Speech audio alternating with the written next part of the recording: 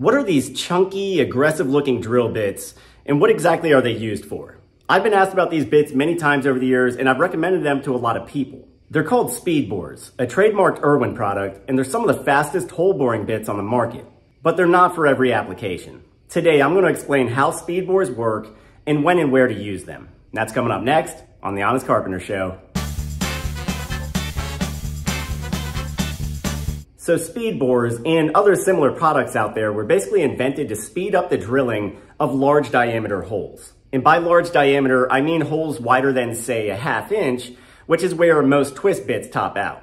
In the past, tradespeople have turned to a variety of other bits for this function. Those include spade or paddle bits, circular hole saw bits, and even expensive Forstner bits. Many of these, especially Forstners, make really clean holes. But the problem is they can't do it quickly. Paddle bits kind of chop their way through wood. Hole saws are prone to clogging, and Forstners, though efficient, are really more like a woodworking bit, too fine to be used for most rough construction. Carpenters and other tradespeople needed a way to bore wide, rough holes much faster. And so Irwin gave us the Speedbor.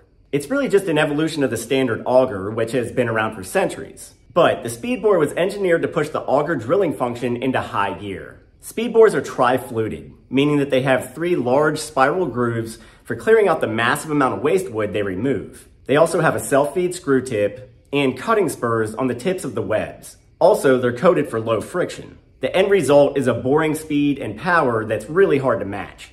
Keep in mind, Speedbors and other similar products out there require no pre-drilling. They'll clear a large diameter hole by themselves in seconds. And they're pretty easy to use. They come with hex shanks that chuck into most any standard drill or driver. When you know your hole location, you just press the screw tip to your center point, fire up the drill, and provide a little force. Very quickly the screw tip engages. It begins drawing the rest of the auger forward with the cutting spurs and lips shredding material in the cut path. The flutes are very wide and shallow, unlike traditional augers, so they eject wood chips in this cookie monster type feeding frenzy. You'll go through a standard 2 by in a couple of seconds. With a long enough Speedbor, you'll clear a 4x in under 5 seconds.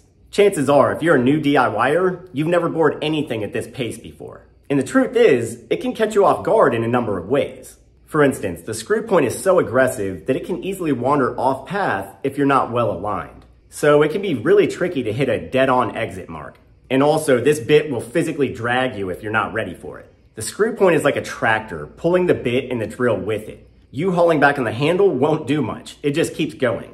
This is especially problematic with corded drills because they don't have clutches or brakes. If you're up on a ladder, you need to leave enough slack in your position to let the drill travel. Otherwise, it can like pull you right off your feet. And when you punch through material, you absolutely need to keep your free hand out of the way because these things are merciless coming out the other side. I was boring holes through studs in winter once and left my hand a little too close to the exit point.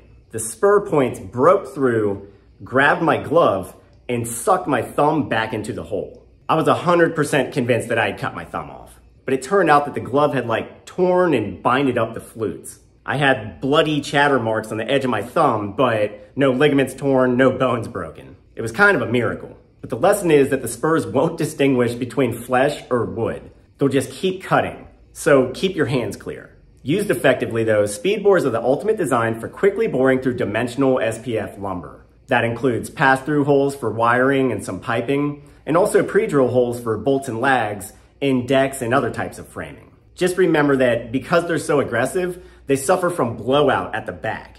They'll often just burst through in a shower of shredded wood pulp. And really, their entry hole isn't that clean either. So they're only for rough or concealed applications. Again, more construction than woodworking. There are also a lot of competitors on the market now. Different design, basically the same concept like the Diablo Speedemon or the Bosch Daredevil Auger. I haven't tested either, but I'm not brand loyal, so I'll gladly mention these others here. And I might try them out on the channel in the future. I'll go ahead and link a bunch of these bits down below. So feel free to shop those links if you need something. And remember that when you do, we receive a small commission at no extra charge to you.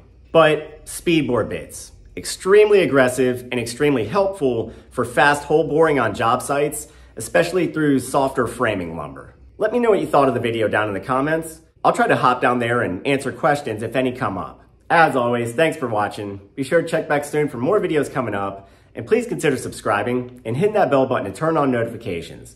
That way you'll know the moment we post something. I'm Ethan James with The Honest Carpenter. I'll see you next time.